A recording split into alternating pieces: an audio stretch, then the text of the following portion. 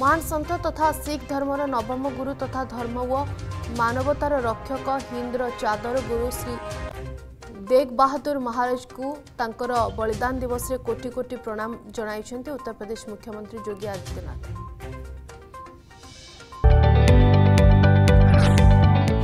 যদি আপনার আমার ভিডিওটি ভাল লাগিলা তেবে আমার চ্যানেলকে লাইক শেয়ার ও সবসক্রাইব করা জমা বি ভুলতু না